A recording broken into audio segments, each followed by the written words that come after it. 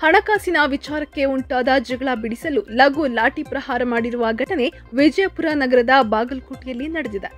Chicken ಅಂಗಡಿ ಮಾಲೀಕನ ಜೊತೆ ಉಂಟಾದ ಜಗಳ ಬೀದಿಗೆ ಬಂದಿದ್ದರಿಂದ ರಸ್ತೆ ಸಂಚಾರಕ್ಕೆ ತೊಂದರೆಯೂ ಆಗಿತ್ತು. ಕಾರ್ನಲ್ಲಿ ಕಚೇರಿಗೆ ಹೋಗುತ್ತಿದ್ದ SP H D Anand Kumar ಎರಡು ಗುಂಪುಗಳಲ್ಲಿದ್ದವರಿಗೆ ಥಳಿಸಿದ್ದಾರೆ. ಬಳಿಕ ಗಾಂಧಿ ಚೌಕ್ ಠಾಣೆ ಪೊಲೀಸರು ಸ್ಥಳಕ್ಕೆ ಭೇಟಿ ನೀಡಿ ಪರಿಸ್ಥಿತಿಯನ್ನ ಹತೋಟಿಗೆ ತಂದಿದ್ದಾರೆ.